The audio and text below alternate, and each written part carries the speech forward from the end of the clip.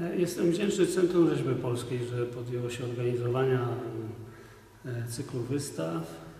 E, Ten cykl kończy swój bieg w Olsztynie. Powiązane kilka wystaw było z drukiem katalogu. To jest zawsze ważna rzecz, żeby udokumentować pracę z jakiegoś tam okresu twórczości. Wystawa nazywa się Wszystko jest rzeźbą. Nie chciałbym e, być opacznie zrozumiany, więc chyba należy się kilka słów wytłumaczenia, skąd taki o, dramatyczny tytuł. Nie chcę na pewno powiedzieć, że wszystko jest sztuką. Natomiast z punktu widzenia technicznego, sięgając do odkryć naukowych, do tego, co naukowcy opowiadają nam o świecie, pojęcia takie jak punkt, linia, płaszczyzna są pojęciami czysto utopijnymi. One nie istnieją w rzeczywistości. Naukowcy udowadniają nam, że każda, e, każdy element otaczającego nas świata jest trójwymiarowy. Ja do tego się odnoszę. Nie traktuję zatem malarstwa jako czegoś płaskiego. E, ta budowa atomowa, ten przeplot różnych e, fal, które nas otaczają z, z, punktu widzenia technicznego e, powodują, że żyjemy tylko i wyłącznie w świecie trójwymiarowym.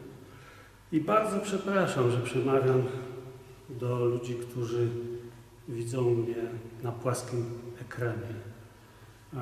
Chciałbym, żebyśmy na chwilę oderwali się od telefonu, od telewizora, ale dzięki temu medium może jestem e, słyszalny, jestem za to również wdzięczny.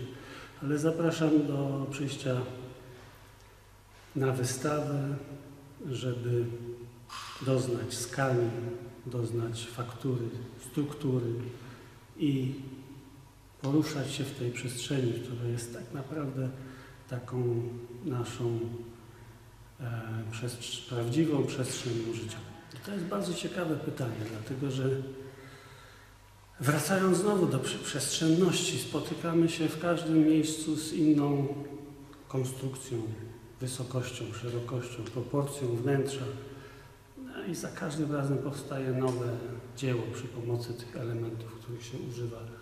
Więc e, może powiem tak nie wprost, ale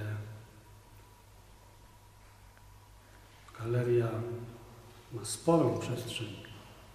E, Obawa, obawiałem się tego wy- wypełnienia tutaj. Mm, Ostatecznie e, część e, prac zabranych wylądowała w magazynie. Nie zmieściły się. Ja bym podzielił na trzy e, elementy tę pre- prezentację.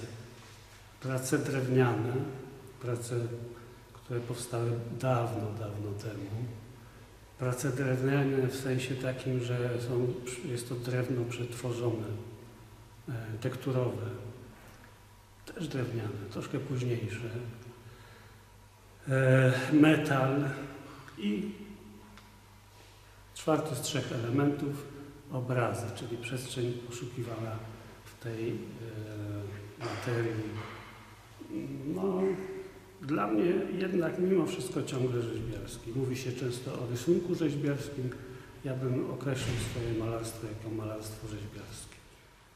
E, Podstawową techniką, którą stosuję i jest moją ulubioną, jest próba zaprzeczenia.